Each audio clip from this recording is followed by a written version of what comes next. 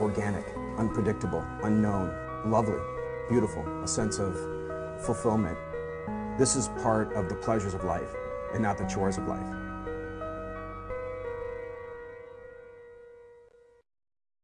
Thanks for tuning into your latest edition of Daily Iowan TV, your television news, sports, and weather source for the Daily Iowan. I'm Samantha Bear, broadcasting from the Daily Iowan newsroom. Members from the Iowa Board of Regents met with Sally Mason on Monday to discuss fundraising practices. The ethics of the UI's fundraising practice has been under criticism following recent articles published by the Des Moines Register. President Mason has arranged a meeting between board members and UI Foundation officials to review fundraising practices and policies. Critics say the current policy uses patient information inappropriately for donating.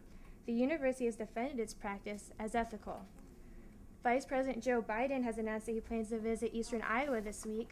On Tuesday, Biden will visit Waterloo, where he will speak with members of the United Auto Workers and will focus on the company and economy. On Wednesday, Biden will stop in both Dubuque and Clinton.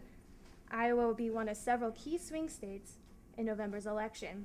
The Information Technology Facility has recently become the first building on the UI campus to receive platinum level LEED certification for its environmentally friendly design. After seven years of planning and three years of construction, the new Information Technology Facility was completed last December. The 43,000 square foot, $30 million facility computer technology the university and its hospitals. Roughly 32, roughly 32% of the construction materials were recycled, and a bioretention cell will absorb water runoff to help prevent erosion. These are just two of the building's environment features. According to a report in Scientific America in 2011, only 20 higher education buildings in the U.S. achieved platinum level LEED certification. And now, for a quick sports update, we go to Daily Iowan TV sports reporter Nick Fetty at the Daily Iowan Sports Desk. Even though kickoff for the 2012 Iowa football season is still 68 days away, this weekend gave Iowa fans something to be optimistic about. According to Scout.com, Iowa received verbal commitments from three recruits, two of whom were from in state, making them the first two Iowans in Iowa's 2013 recruiting class.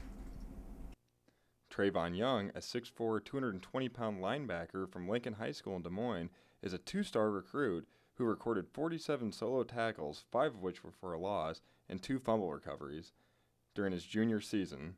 Young also had offers from Iowa State and South Dakota State. Ike Boettger, a 6'5, 220 pound tight end from Cedar Falls, also committed to the Hawks over the weekend. Boettger played quarterback in high school, throwing for 750 yards and nine touchdowns during his junior season.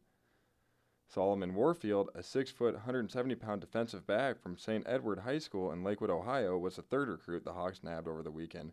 Warfield is a three star recruit and is listed as the number 40 safety on Scout.com.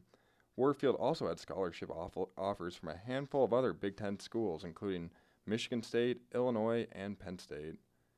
And while the 2013 recruiting process has been mostly successful for Kirk Ferentz and his squad, the Hawks also lost out on some in state talent last weekend. According to Scout.com, Sam Raridon, a 6'3, 264 pound defensive tackle from Valley High School in West Des Moines, has verbally committed to the Wisconsin Badgers. Raridon was offered a scholarship by Iowa last summer.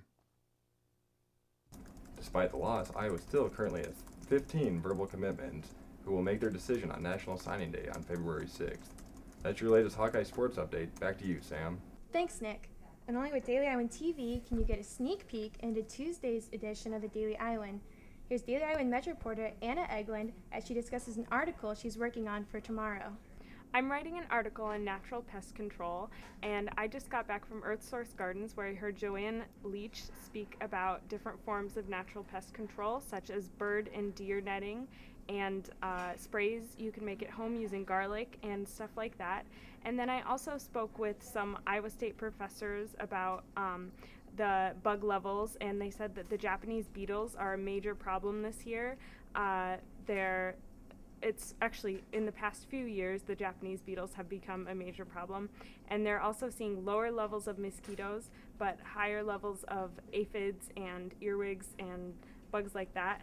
Um, and also, Joanne Leach also said that um, natural pest control can sometimes work better than pesticides for the home gardener, although pesticides are often used for economic reasons for uh, big farms. Joanne Leach also said that pesticides can disrupt the natural cycle, so that's one of the benefits for natural pest control.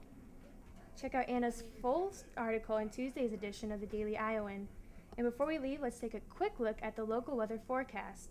Expect clear, sunny skies with a slight breeze and a high of 83 during the day Tuesday. The skies will remain clear Tuesday night and we'll see a low of 62. Temps look to pick up after that, and you can expect highs in the 90s in the middle of the week with a chance of showers and thunderstorms beginning Thursday nights and carrying through Saturday. That's your latest update. For the latest news, check out our website, dailyiowan.com.